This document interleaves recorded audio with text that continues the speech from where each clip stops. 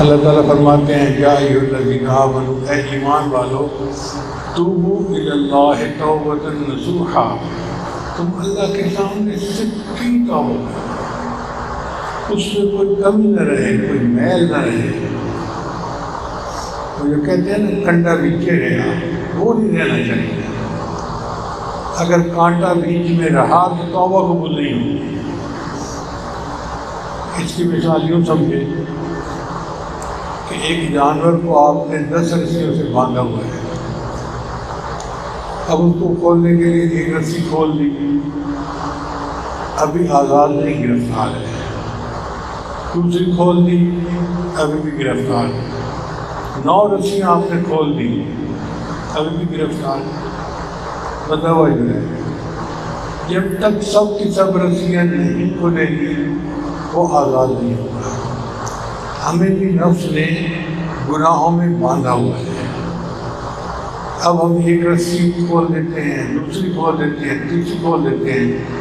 कहीं ना कहीं कोई ना कोई गुनाह रह जाता है, जिसकी वजह से हम नफ्स के गुलाम होते हैं और तौबा कबूल नहीं होती अल्लाह ताला ने शर्त रख दी है कि तौबा मैं ज़रूर कबूल करूँगा, मगर तुम सच्ची तौबा करो।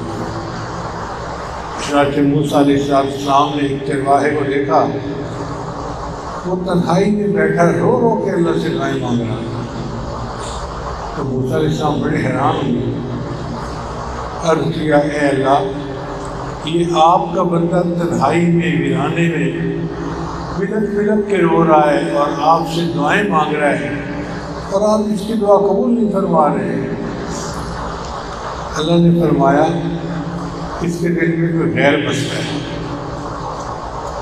इसका दिल किसी की मोहब्बत में जकड़ा हुआ है। जब तक ये उससे तौबा नहीं करेगा, इसकी तौबा कबूल नहीं तो मूसा इस्लाम ने जब उस चरवाहे को बताया तो उसने कन्फर्म किया हाँ मैं नजायज ताल्लुकात में गिरफ़्तार हूँ। अब उसने तौबा की अल्लाह ने तो कहीं ना कहीं कोई ना कोई गुनाह, कोई नहीं उसे जानता, हम ही जानते हैं, क्योंकि मामला हमारा है।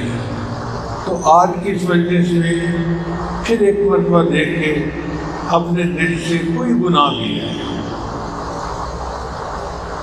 वो गुनाह झूठ बोलने का है, गीबत करने का है, लोगों में ऐम ढूँढने का गुनाह है। या लोगों के बारे में दिल में कीना मौजूद है। या हुआ है? बच्चों पे ज़्यादा सख्ती की हुई है या भाइयों के साथ अनबन की हुई है? कहीं ना कहीं कोई ना कोई सिलसिला ऐसा ज़रूर होगा जिसकी वजह से तोबा रुकी हुई है। अगर उसको हम ठीक कर लेंगे तो तोबा कबूल हो